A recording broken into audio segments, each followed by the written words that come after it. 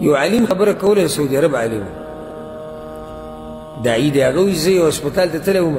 نو هلته د یو کس زنکدن و وایي زه یې خواله ورغلم نو زامن یې ورسره ولاړ و په هغه باندې وي سخته وبه ساعت یې وته وایي هغه وایي چې ما له سګرټ راوړی ما له سګرټ راوړی یو بلې کټ کې سمداسې ټوپونه وهل دغه خپې اوچتولې ولګولې او ما له سګرټ راوړي نو زامنو خو له نه ورکړم لکه چې هغو ته خو پته چې دنه ساه وځي او نه غواړي چې دنه ساه په دې حال کې اوسي خیر خو هغه داسې حال جوړ کړی او چغې او سم بد حالې ووایي ما له سګرټ یو راوړی چې یو کشت راکاږي نو بیا هغه یو زوی ولوي هسې کاغذ راواغېستو داسې